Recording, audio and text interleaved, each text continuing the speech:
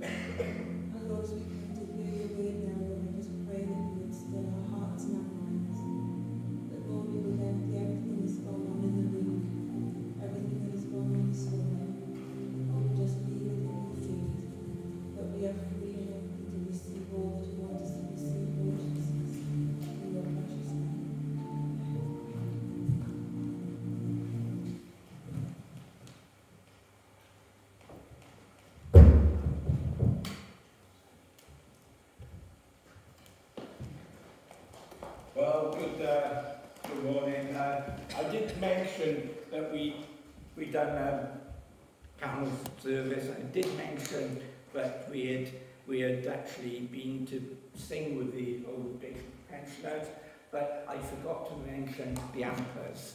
The ampers went off as well. So last week was a week of a massive events. Yeah?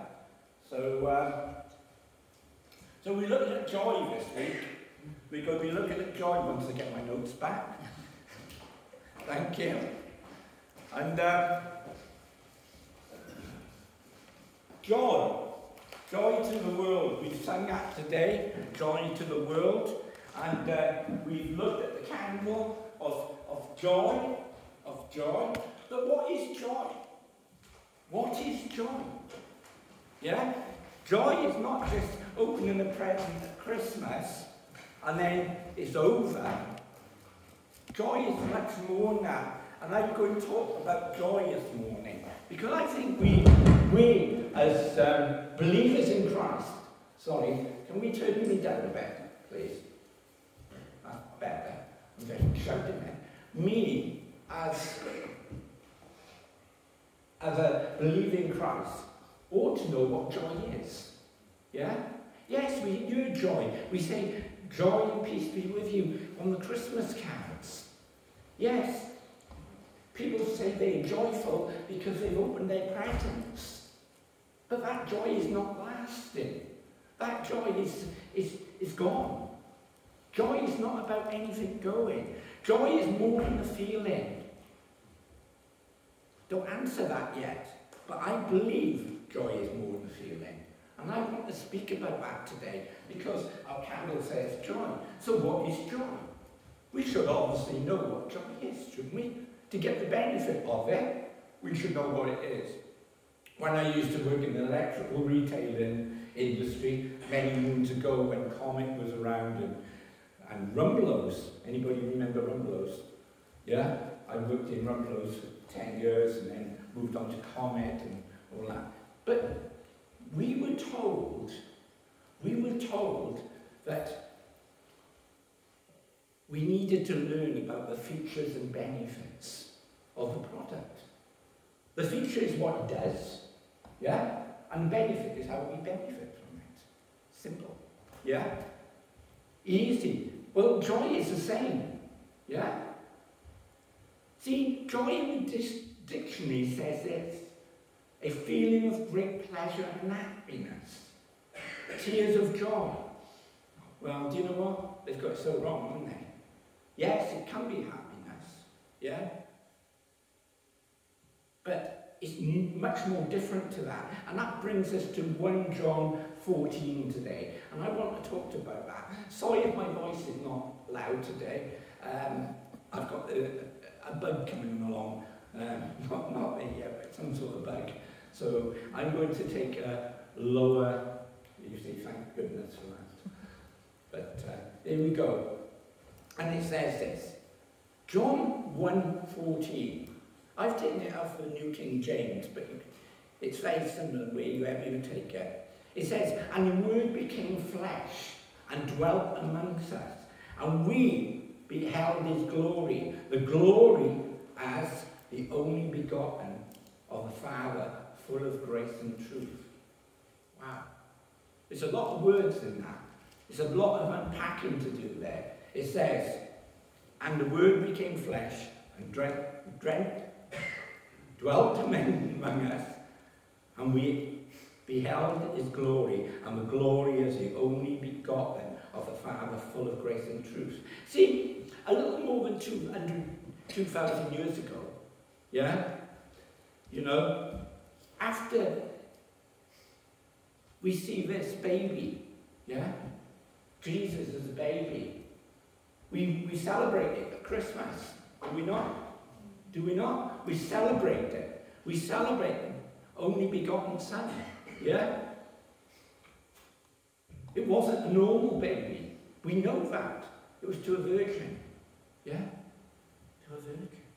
But a little time after, God stepped into the earth as he pitched his tent and set up a camp right in the middle of us all. He set up in between in us all. Wow. That is the world dwelt. And it can mean to set a tent. In other words, the word became flesh and pitched his tent among us. So he became among us. Yeah? Isn't that great? Well, I hope it's great. Don't look great, yeah. But uh, it, it's a great thing, isn't it? It's a great thing. Uh, he came to earth, yeah? And, and, and he, he, he was a born of a virgin. He, he, we see him as a baby in a manger. And then, you know, as he grows up, as he grows up, he, he comes amongst us. Yeah? He's amongst us to set up tent. In other words, the word became flesh and pitched his tent amongst us. And when he did that, well, it was the most profound revelation of God man would ever know on earth. The most profound, yeah, revelation of God man would know on earth. See, God has visited people and promised they're never alone. We are never alone. Yeah? He doesn't want you alone. He wants you to have joy, everlasting joy. And I know sometimes we don't feel like that when we're doing the washing up. You know, when I get up in the mornings and go to load the dishwasher, yes, I find that hard work to load in the dishwasher. But when we're doing that, yeah, when we're doing that, sometimes we might not feel that joy. When we accept the friendship of God, we experience joy. We experience real joy. And it's this I want to talk about today. Real joy. Real joy. Not the joy that's going to last just over the Christmas period. Not the joy that's just going to last with over the presents. You know, comes and 25th and it goes. No, everlasting joy. Do you want everlasting joy? Well, we've got everlasting joy. Yeah. And sometimes we, joy is a choice purposefully made. See, joy is made purposely, but what's the difference? It's difficult to define. See, it's possible to, to feel joy in difficult times. It's possible to. A joy don't need a smile in order to exist. Although it does feel better when we have one. Joy can share its space with emotions, sadness, shame, or anger. Happiness can't. Fullness of joy is found in the knowing God and delighting in the excellence of his character. The excellence of his. To be in the presence of God, to enjoy fellowship with him, is the greatest blessing that anyone can imagine. This is the joy, the type of joy we need and be talking about. This is the type of joy we need in our hearts. Yes? How do we as Christians, those who love Jesus, experience that? Well, Romans 5, 2 to 3 says this. I want to tell you this because, because of our faith, Christ has brought us into a place of undeserving privilege where we now stand. We're in a place of privilege. I heard on the television this morning, I was talking about the news. It wasn't a good situation, but somebody had actually been doing, um, uh, uh, having, uh, you know, that, what do we call it, the stuff from COVID, had actually made a 60 million pound by COVID. And, and, and he said he was in a privilege. You know? I'm just trying to explain a privilege what a privilege is. Yeah? And constantly joyful forward to sharing God's glory. We undeserved privilege where we stand and we're constantly and joyfully looking forward to sharing God's glory. Who's looking forward to sharing God's glory? Who's looking forward to that? Yeah? We're all looking forward to that, aren't we? Don't go just yet. but, but, but, but looking forward to it all the same. Look, you know, but uh, looking forward to it all the same, isn't it? Yeah? When we can joy, rejoice too, when we run into problems and trials, we know that they help us develop endurance. How do we know that? Because it tells us. Yeah? You know, it tells us, doesn't it? Yeah? The endurance. It's not nice. It's not nice. Nobody likes going through, through trials. Nobody likes it. I don't like it. I don't think anybody likes it. But it characterizes us. I wish it wouldn't characterize us so much, but and keep going through the trials, but someone has said that a definition of a Christian is one who is completely fearless, continually cheerful, and constantly in trouble. well, it, it does. You know, that's true in a way, isn't it? Do you know the secret to that kind of Christianity? Let's face it, most of us feel really and being as a Christian should excuse us somewhat from trials and sufferings. We, you know, that's why most people look at Christians, don't they? They look at Christians and think, you've got it all together. Yeah? They look at Christians and think, you don't go through anything. But we do. Yeah? We do go through trials and tribulations. Yeah? We do go, we do go through the mill as to. But we have a joy. We have a joy. Get me wrong, I don't enjoy going through the mill. Yeah?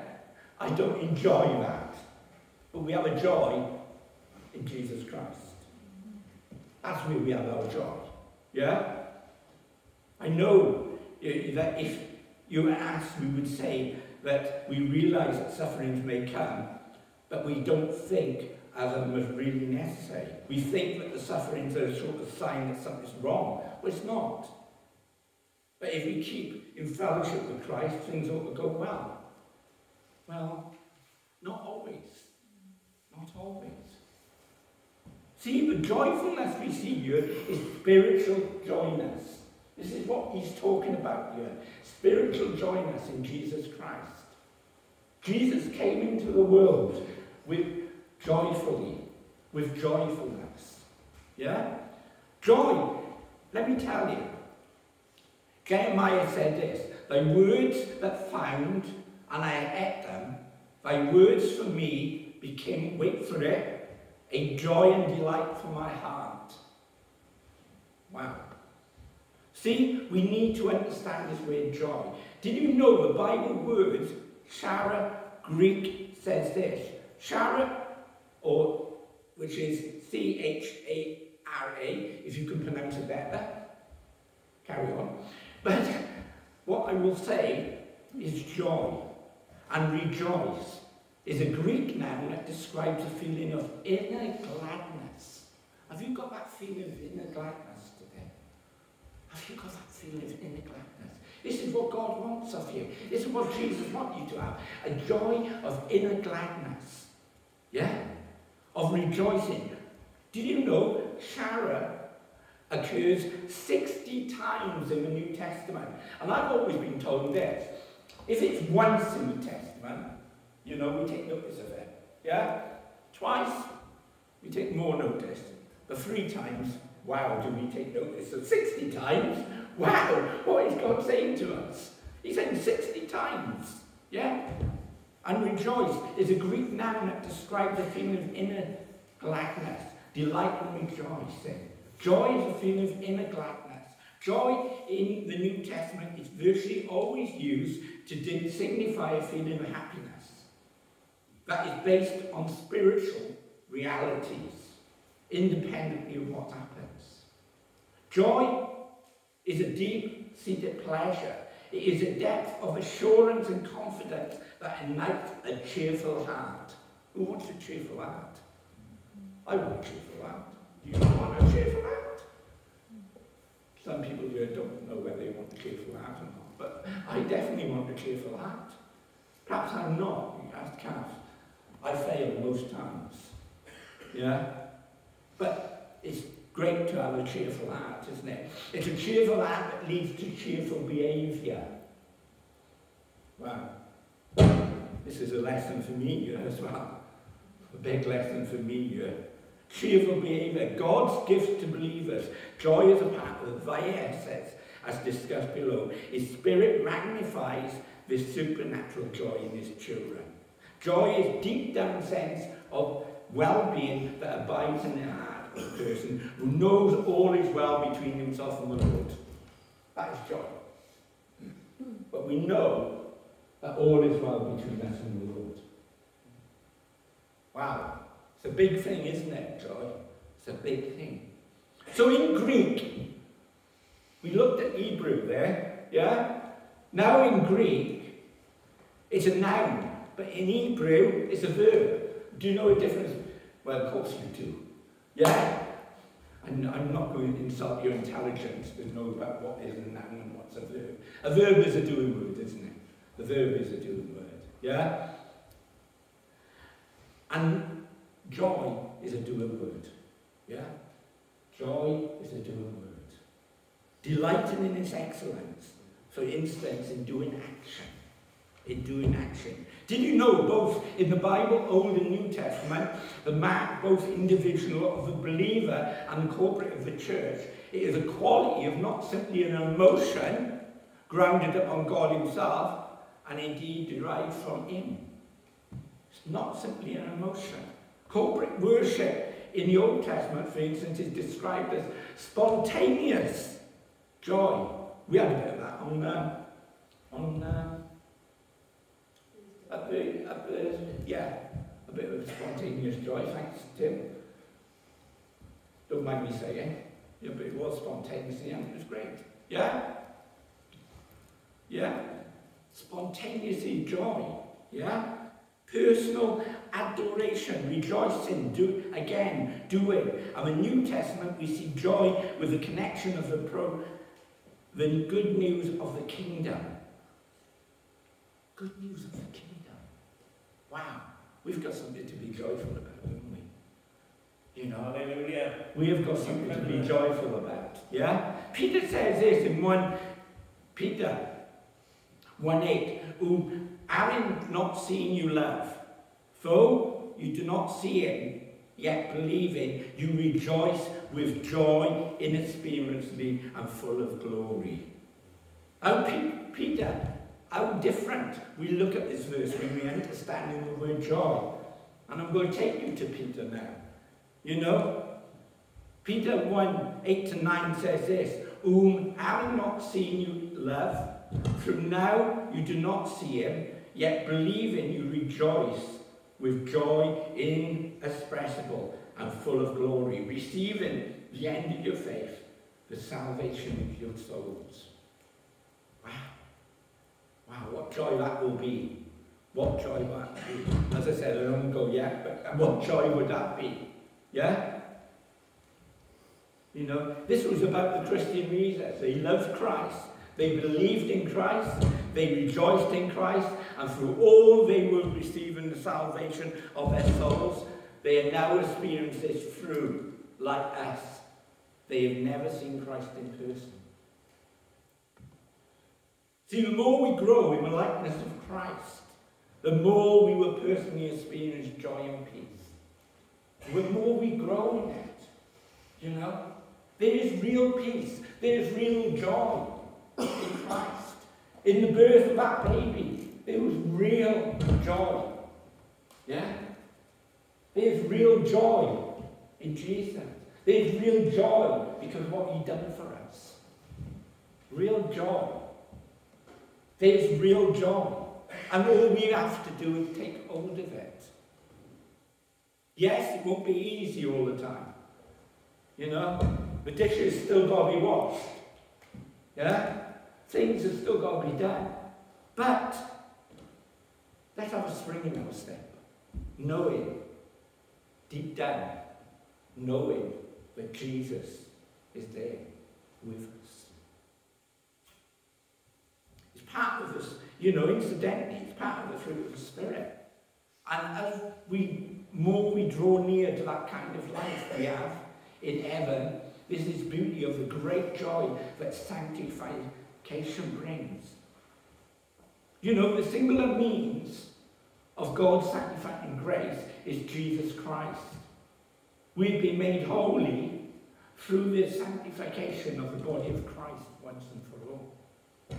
See, the kingdom of God is not found in food and drink.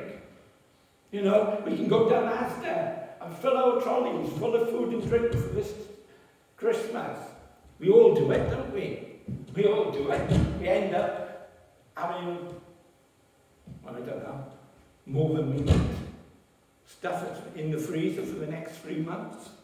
We all do it. But it's not found in food. We're not that type of food anyway.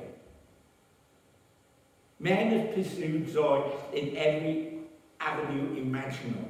Some as the successfully found it, while some have not. Perhaps it would be easier to describe where joy cannot be found. Joy cannot be found in unbelief. Joy is not a pleasure. Lord Byron lived a life of pleasure in everything he did. He wrote the worm, the canker, and grief are mine alone. Joy is not in money. We all say, if we could have a million pounds. We all say, I like my Lamborghini. No, seriously. Seriously. It's not in money. Jay Gould, the American millionaire, had plenty. When dying, he said, I suppose I am the most miserable man on earth. Joy is not in a position of fame. Lord Beaconsfield enjoyed more than his share of both. He wrote, Youth is a mistake. Manhood is a struggle. Old age is regret. Joy is not in military gold. Alexander the Conqueror, great conqueror, known for his day, having done so much, he wept in his tent before he said, there are no more worlds to conquer. So where is real joy? The answer is simple. If you are looking today, your answer is simple. It's in Christ. Real joy is in Christ. Everlasting joy in Christ. Everlasting peace in Christ. In all our efforts are focused on trying to be happy. And everybody is trying to be happy out there. You know? They, you know, you, you've, got, you've got programs to make you happy. Yeah? You've got things to make you happy. Yeah? I think that we may be missing the point. But if the purpose is to have joy in our lives, then we have committed to one another in a way that seeks something better than simply self-satisfaction. I believe we can balance both. Martyn Lloyd Thomas, Thomas? Martyn Lloyd Jones, sorry, I was just seeing you awaken. Eh? You passed. There is only one thing that can give true joy, and that's contemplation in the Lord Jesus. He satisfies my mind, he satisfies my emotions, he satisfies my every desire. He and his great salvation include the whole personality of nothing less. And in him I am complete. Joy, in other words, is a response and action of the soul to the knowledge of the Lord Jesus Christ. How can we as believers maximize our, our joy, our emotions? How can we do it? We hope absolute insurance of the future glory brings by joy. These are all in the Bible. The Lord's world brings joy. The presence and fellowship of believers bring joy. Converts bring joy. Even the angels rejoice. You're in that those you mentioned are disciplined and walking in truth. Giving brings joy. I'm not asking for you to give today. I'm just saying, giving gives joy. Yeah? Fellowship with Father and Son brings joy. We need to keep short accounts by confessing our sins. So our fellowship is not adversely affected. Are we living real joy in our hearts today? You know, my father-in-law used to say, you know, look at some people coming out of church on a Sunday. Yeah? And they're coming out with a big Bible and they look so miserable. Yeah? They should be coming out joyful. We should be coming out joyful into this place. People that should be saying to us, I'm not telling you off, guys. Please don't think that. I'm not telling you off. I'm just saying, people ought really see us coming out here on a Sunday and say, do you know what? I want some of that what they're on. You know, wouldn't that be great? I want some of that what they're on. That is joy. Yeah? There's only one thing and give true joy, and that's contemplation of the Lord Jesus Christ. He satisfies our mind, He satisfies our emotions, He satisfies every desire. He and His great salvation include the all personality of nothing less, and in Him I am complete. In Him I am complete. Joy, in other words, is a response and reaction of the soul to the knowledge of the Lord Jesus Christ. Repentance brings joy. The hope, absolutely assurance of future glories bring joy. The Lord's word brings joy. These things I've spoken to you, my joy may be in you, and your joy may be full. Says in John 16:24. The presence and fellowship of believers bring joy. Hearing those who have mentioned and discipled and walked in the truth brings joy. Giving brings joy. We've already said that. I'm sorry, I didn't mean to say that twice. But, uh, are we living in real joy in our hearts today? Are we living in real joy in our hearts today? Joy is so much more than just for Christmas.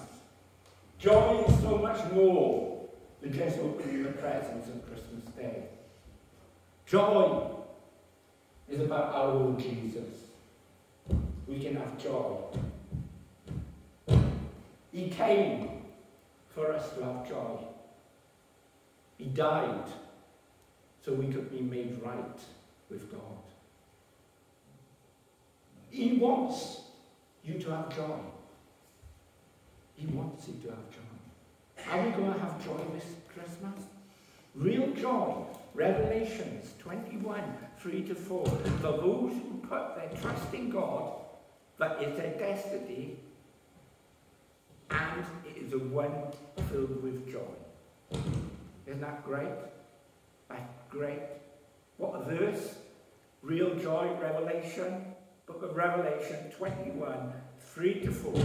For those who put their trust in God, that in their destiny, and are one filled with joy.